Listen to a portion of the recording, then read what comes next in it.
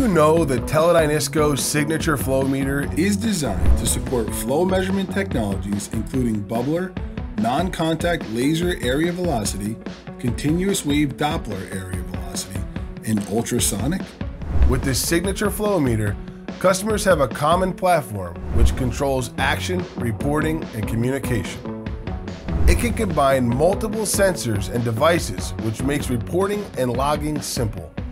The flow meter saves resources by using a single remote communication device to transmit the data, as well as provide a detailed report and diagnostic information to remain in regulatory compliance. Want to learn more? Give us a call at the office today or visit our website. Thanks so much and look forward to talking to you soon.